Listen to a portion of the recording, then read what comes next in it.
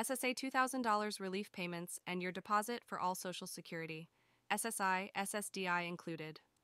For decades, Americans who rely on Social Security, SSI, SSDI, and VA benefits have struggled to make ends meet as the costs of basic needs like housing, food, and healthcare have steadily risen. Programs meant to provide a foundation of support have lost value over time as inflation has steadily chipped away at purchasing power. A bipartisan consensus formed that it was time for reform to better serve those in need. Research showed the gap between modest fixed incomes and expenses had grown too large. Seniors were skipping necessary medical care due to high drug costs. Disabled workers found themselves unable to afford housing or even nutrition assistance despite qualifying for benefits.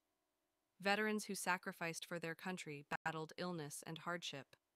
It was clear the status quo was falling short in meeting the mission of these critical programs. The new approach. In 2024, lawmakers came together behind a comprehensive package of improvements. Rather than one time stimulus, the focus was on systematic changes establishing long term economic security. Monthly benefit increases from $200 to $500 would be provided automatically based on need. For some of the most vulnerable households, total additional annual support could reach $2,000. The simplified structure aimed to make a meaningful difference for people struggling every month to cover essentials. Funding would come through reallocating existing budgets and new revenue streams, ensuring sustainability without cuts elsewhere. Regular review processes would keep pace with inflation to maintain the value over time. Importantly, expanded benefits would not impact eligibility for other crucial assistance programs. This prevented any reduction in food, housing, or healthcare aid that could undermine the goal of improved well being. Medicare access would also grow through reduced medication costs and more preventive services. Phased implementation. A phased implementation approach was adopted to allow for orderly transition. The Social Security Administration and Department of Veterans Affairs immediately reviewed their records to identify current recipients. Notifications were then sent regarding timelines and next steps specific to individual situations. For those already receiving paper checks or debit cards, transition to direct deposit was encouraged where possible for convenience and security. Contact information updates ensured all could be properly informed of changes. Existing online accounts provided an easy way to track progress as the rollout continued through 2025. Broader impact. This marked a new era recognizing the dignity and humanity in programs meant to support seniors, the disabled, and veterans in their daily lives. The reform package set an important precedent that could inspire even greater strides to reduce hardship moving forward.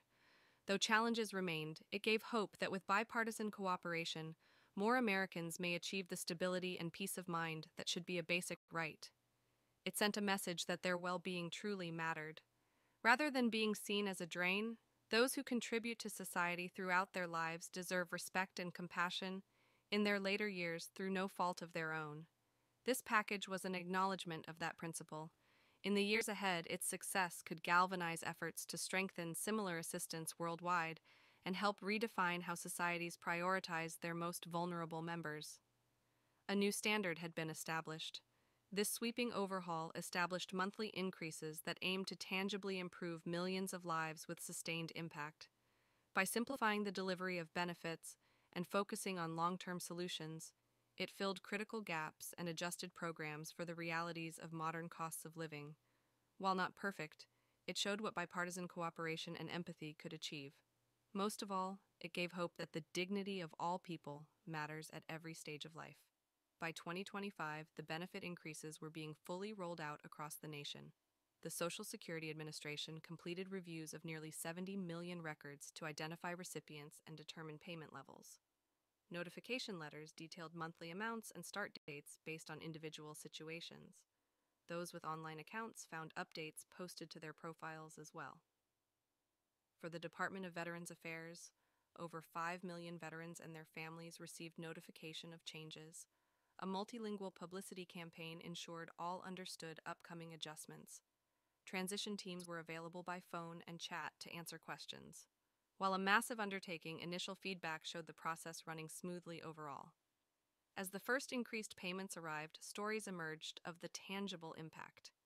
One senior citizen used the extra $300 per month to finally replace an old furnace, saving on heating costs. A disabled Navy veteran now felt secure enough to adopt a companion animal for support.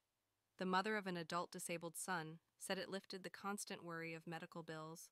Nonprofits reported a marked drop in requests for food and housing assistance. Economic activity and feedback government analysts assessed economic activity and found the benefit increases were achieving their goal of directly stimulating local communities.